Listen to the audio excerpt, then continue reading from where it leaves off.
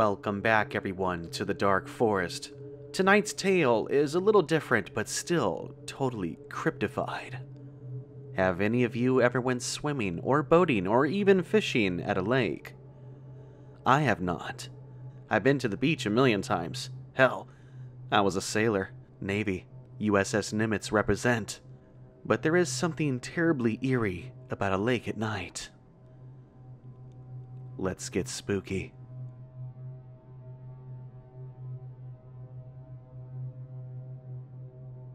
The trip to the lake was just meant for a bunch of us college kids to blow off some steam.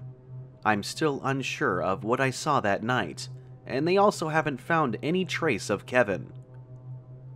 I had a paper due next week, a big one that would bring my grade down if I half assed it. I was doing a lot of half assing recently and wanted to get myself a bit more on track.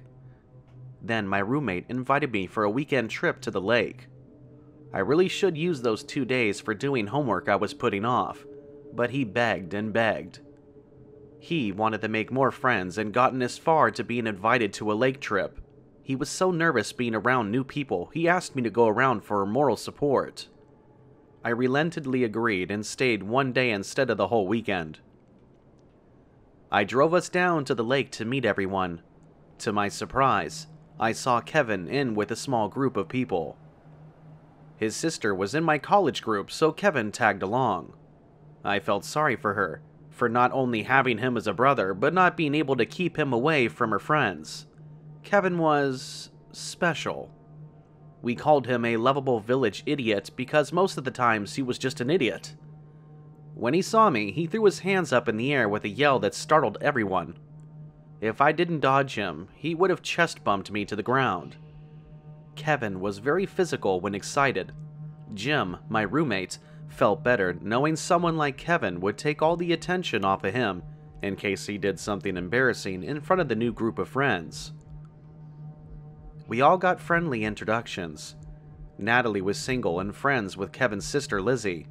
Barb and Cody were a couple. Jack and Ian were also a couple. Kevin made some very inappropriate jokes towards them, Nothing hateful, just something Kevin would be dumb enough to say. I don't know how they tolerated him. If I was in their shoes, I would have had him packing, and I sorta liked the guy. Everything was already set up by the time we arrived. They found a good area right beside the lake. Small waves lapped over the sandy shore. A cool wind blew, making it a perfect spot. I brought some food to grill and a lot of marshmallows for later. At first, Jim stayed glued to my side, too shy to start up a conversation. I got him talking with Jack and Ian after I overheard they both played D&D. In the next few minutes, all three talked as if they had known each other for years. A fire got started, so we all found a spot to sit after dinner was made, eaten and cleaned up. The beer cooler came out once everyone was comfortable by the fire, Everyone had partnered up, and I got Kevin duty. As it grew dark and the conversation started to get louder, I had to keep an eye out on my old dumb high school buddy. He tried to put a closed can of beer in the fire to see if it would explode. When I took that away from him, he started flicking half burnt marshmallows around trying to see if they would stick to things. One nearly took out poor Jack's eye. Kevin lost his marshmallow privileges. By 9, he was getting antsy trying to think of other ways to get attention. I'm gonna go prank the girls. I'm gonna start recording in like 10 minutes, maybe 20, but I gotta go take a dump in the woods. Kevin whispered over, almost right in my ear. I didn't need to hear the second part, dude. I told him, but Kevin was already gone. Depending on what he considered a prank, I might need to kick his ass in a few minutes. I was the only one not drinking, my plan was to leave at midnight. The lake wasn't very far away from our college, so it made it a great spot for parties. I could get back home at 2 a.m., and I normally stayed up that late on weekends, anyways. Besides not wanting to drive home after drinking, I had never liked drinking to start with. Since Jim was having a good time, I knew it was safe to book it. Having one sober person sometimes brings down the party. Plus, I trusted everyone there, aside from our dumb marshmallow killer. If I knew Kevin's drinking habits, he would get blackout drunk in an hour. I didn't need to stay around to be a parent of the group.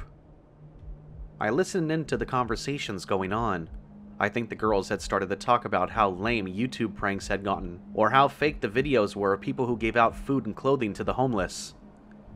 They guessed that the money was either fake, or they took it right back after the video, or the person on the receiving end was a hired actor. I knew Kevin had a thing for Natalie.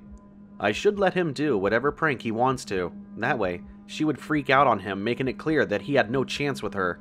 Maybe he would be too stupid to take even that big of a hint. I don't think he would have anything impressive planned prank-wise, mostly like jumping out of the dark trying to scare us. I looked around and realized I hadn't heard him creeping around, even though it would have been lots of time for him to do his business and then come back. The lake was dark and as silent as a grave. I didn't go out into nature often, but I assumed it would be a lot louder. I didn't hear any crickets or night creatures, only the sound of water rippling. I was about to look back into the circle of people and into the light of the fire when I heard it. Ribbit. That was no frog. It was someone just saying the word. Clear as day, someone just said ribbit. What on earth was our village idiot doing? Ribbit? I rolled my eyes. Is this really the best you could come up with? Did you guys hear that? Ian asked, looking towards the dark lake following my gaze. It's just Kevin messing around. We know you're out there, I shouted, the last part trying to embarrass him to come out from the dark. A sound came from the lake, like a fish jumping. I squinted, trying to see because it sounded close. Can you see that? Natalie asked. I could see what she meant. Two yellow specks off into the lake. It looked like light reflection animals' eyes did at night. Without any question, those small specks were a set of eyes. At first, I thought our friend had managed a real prank, like he attached some lights to something that floated off in the lake. I watched some documentaries about swamps earlier this year. Those eyes reminded me of how crocodile eyes looked at night, or maybe they were alligators.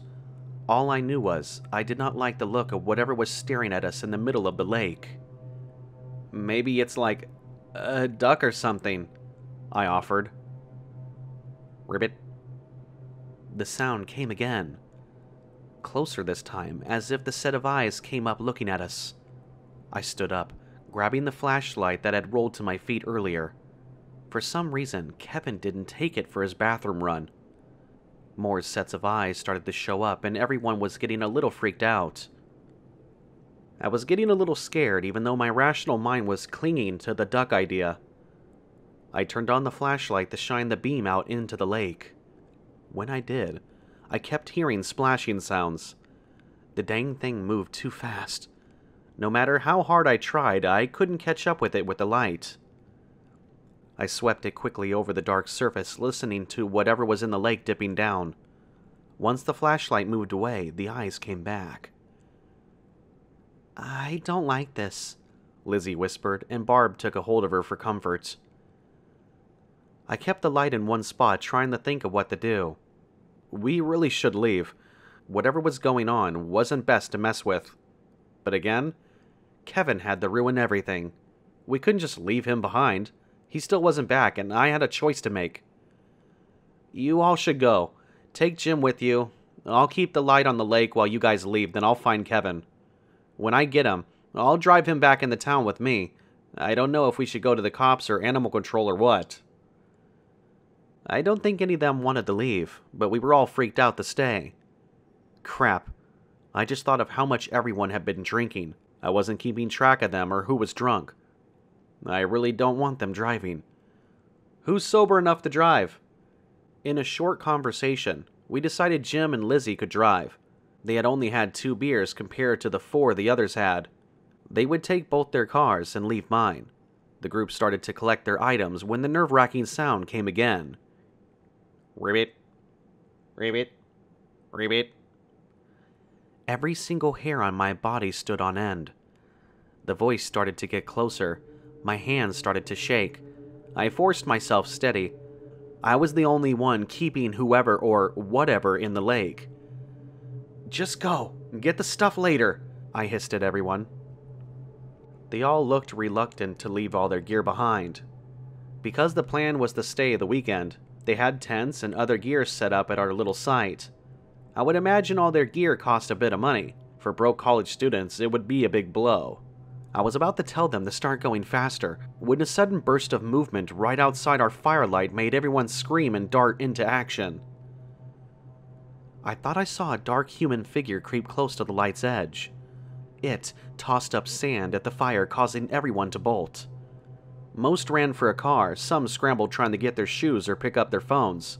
I frantically shot a beam of light around, trying to see what the hell had just come up close, only to find nothing aside from footprints in the sand. We're leaving!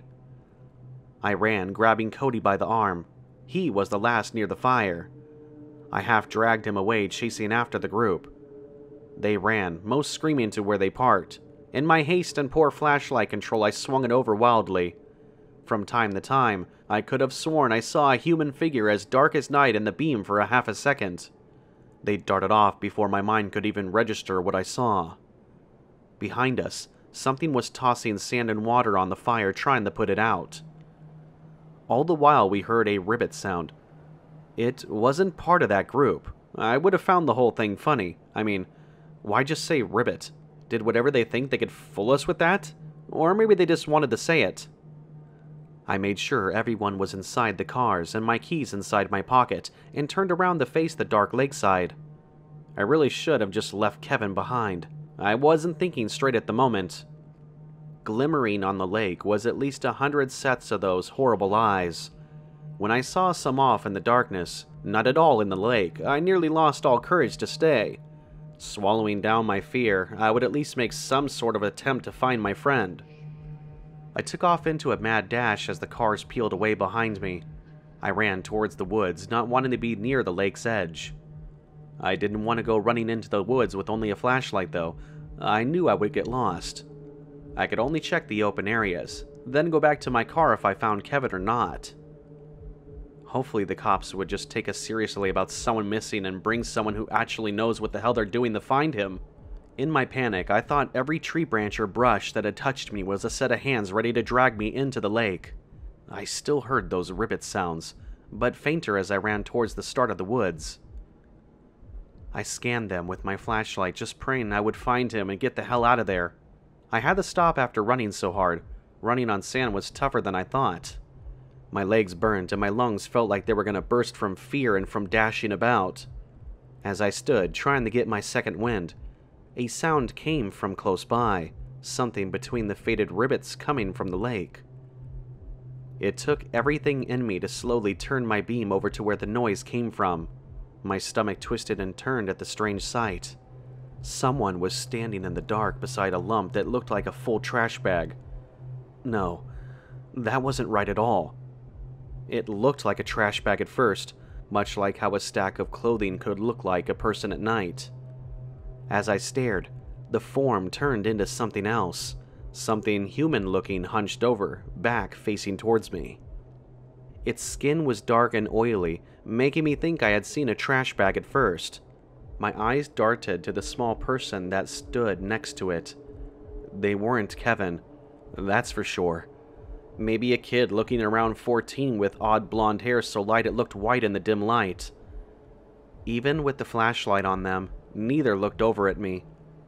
I stood frozen in horror, listening to the awful wet crunching sounds that alerted me to these two in the first place. The thing hunched over suddenly seemed to notice me. It froze, then slowly started to turn its head to peer over its shoulder. As it turned its body, I saw a face of sunken features and wild yellow eyes. In its hand was an arm, a half chewed part arm. I knew what that sound had been, and I was nearly sick. Then the boy looked at me, red eyes staring at me. I couldn't take it. Somehow, seeing those glowing eyes looking down right into my soul scared me more than anything else that night. I knew I was not going to find my friend, and I ran like a coward. They never found him. Even after we somehow got the cops and some volunteer forest rangers to search for Kevin, he was never found. At first, they thought he was drunk and drowned in the lake. Barb and Cody told the cops about the eyes and the rivets in the lake. The rest of us didn't want to admit to it. So, it was the thought that those two were just drunk also. The friend group broke apart after speaking with the cops. Even Jim wouldn't talk to me, which is hard considering we share a very small room. I never told them what I saw. I didn't think anyone would believe me. And what would I tell them? Kevin might have been eaten by some riveting lake monster while a creepy kid watched? No, not a soul would buy that. I just have to keep it to myself and hope his family recovers from their loss. Nature is scary. Things do go bump in the night, are all too happy to gobble you up. If ever you're going on a trip and you think it's safe enough, please be careful out there. If something feels wrong, just leave. A chance of a good time isn't worth your life or the life of your friends.